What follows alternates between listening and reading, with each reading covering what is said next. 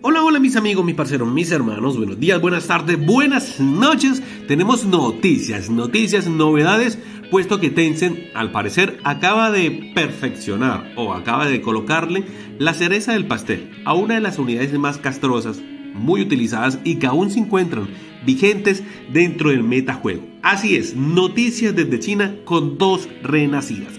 Y, lógicamente, la primera renacida es la de Aldebarán de Tauro Armadura Divina. Una renacida que, como lo ves en el video, eh, es bastante sencilla, pero concreta con lo que tiene que hacer y, en resumen, ya vas a tener la posibilidad de colocarle una sentencia de muerte, ojo con esto, a la unidad que elimina Aldebarán de Tauro. ¿Y por qué sentencia de muerte? Como lo ves en el video, Aldebarán de Tauro, al momento que muere y pasa a su forma espectral, antes simplemente se quedaba parado toda la partida y realizaba ataques automáticos al momento de su turno. En esta ocasión, al momento de que Aldebarán de Tauro, armadura divina, es eliminado por un enemigo, por cualquier DPS, guiño guiño, Thanatos, Afrodita, Caron de Géminis, sea quien sea, inmediatamente le lanza el ataque del gran cuerno le hace target y le saca el alma. Así es.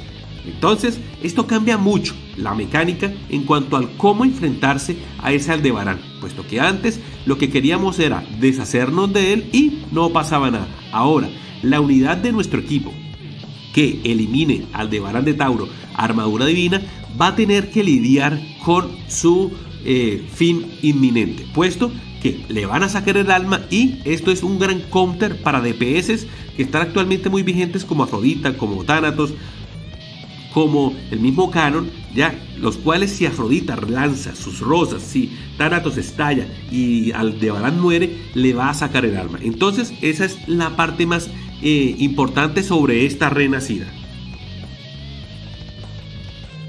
Pero eso no es todo. Al mismo tiempo, como pueden ver en el video, se puede analizar y se puede ver de que Aldebarán de Tauro cuando aún se encuentra con vida, cuando lanza su ataque de gran cuerno y le saca, le extrae el alma al eh, objetivo enemigo fijado, va colocando, al momento que hace sus, sus ataques automáticos, va colocando unas marcas sobre el enemigo y sobre el alma del enemigo. Al parecer, estas marcas cada vez que ataca al Debarán y que le coloca una marca, va ganando una especie de escudo o de aumento de resistencias. Esto también lo, lo hace bastante interesante, puesto que si Aldebarán va a generar más escudos y va a ser una unidad que va a soportar mucho más, lo va a convertir en una unidad premium y una unidad meta para que tú lo sigas utilizando. Te recuerdo que no ha salido del meta, te recuerdo que no se ha dejado de usar y te recuerdo que está aún dentro del top 10 de las unidades que más se utilizan. Entonces, ojo con esto,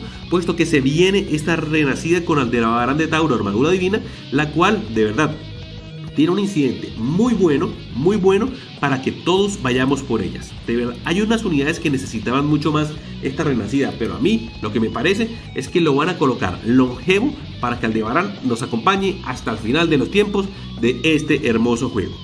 Ahora pasamos a la segunda parte, la renacida de Giganto de Cíclope. Una renacida que a mi parecer está enfocada sí o sí en las mecánicas y en la llegada de Kaiser de LE una renacida con unidades invocadas, la cual al parecer lo que hace es que se aumenta, se aumenta el daño al momento de que eh, Giganto realiza las invocaciones de sus secuaces. Como ves en el video, al parecer hay una especie de aumento en la barra de ataque y de daño y ahí dice que hay dos, hay tres aumentos y siempre que vas aumentando, al parecer siempre que vas atacando con tus unidades, al parecer hay una especie de buff de ataque en esta unidad. Entonces, algo bastante interesante que se nos puede venir con la renacida de Giganto en compañía de la llegada futura de Kaiser de Leo.